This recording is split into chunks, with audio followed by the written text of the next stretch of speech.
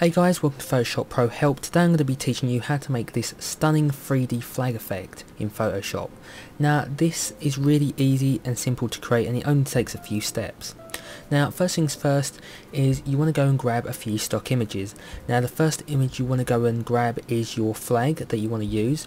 Now I went and grabbed uh, the British flag, really nice and vibrant. You can find these on the internet, just go and grab one make sure it's like a really high definition one and then the effect turns out a lot better. Now once you have grabbed that the next one is really really important. You're going to go and grab some fabric a fabric image it has to be really scrunched up. So let's go over to the one I'm going to use. Now as you can see it's really really scrunched up. This is the style that we're going to be wanting. Now don't worry if you can't find one. I will put in for you to download um, free stock images I'm going to put in. So you can go and download them off my website. Link is going to be in the description bar for you to go and see and get. Now once you have downloaded them all all you're going to do is go and pick out your fabric that you're going to be using. So I'm going to be using this one. And you're going to go and put them into Photoshop on different uh, documents. So this as one document and the fabric as one document.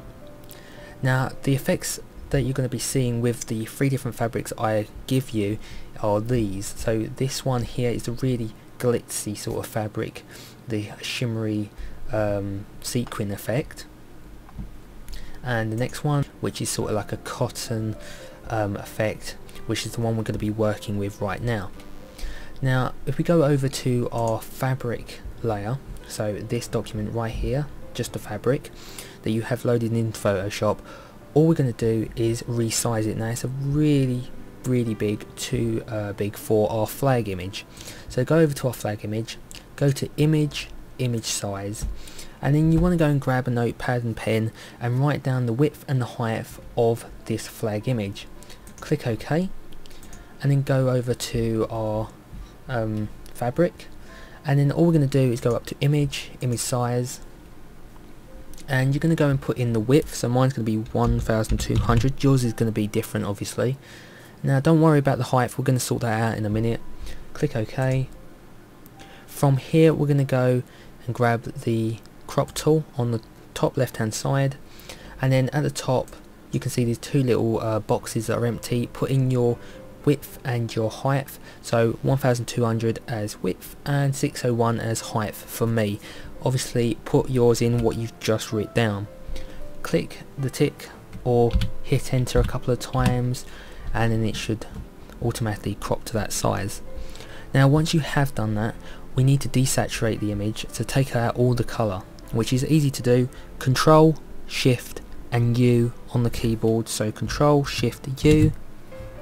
And there we go it's desaturated taken all the color out of it and then the next thing we have to do is go and save it. So file and save as. Now once you have clicked the save as all you're going to do is save it as a PSD a Photoshop document. Now click and save as any name that you want but make sure it's a PSD file. And then once you've clicked OK we're going to go back over to our flag image. Now from here all we have to do is go up to filter distort displace and the settings that you're going to be using is going to be horizontal scale 10 vertical scale 10 displacement map stretch to fit and undefined areas wrap around. Once you've done that click OK and it's going to be asking you to go find the file that you have just created which we have named it flags or you have named it anything else you want to. Click that and as you can see it's displaced it. Now it hasn't done it very well obviously but we can sort that out. We're going to go over to our fabric document click the move tool at the top left hand side and drag and drop into our document our a flag document. And we're just going to resize that to fit so it should automatically fit. There we go. And then we're going to do is change the blending um, option to hard light click hard light and there you go it's automatically um, wrapped it around and this is the effect that you're after. Now depending on what type of fabric you go for it might be a bit too bright or it might be a bit too dark. So don't worry about that. We can easily create this. We're going to go up to image adjustments make sure that you have your fabric layer clicked on and we're going to go up to levels and then you can easily change the settings. Depending if it's dark um, you're going to change the whiteness layer to make it brighter.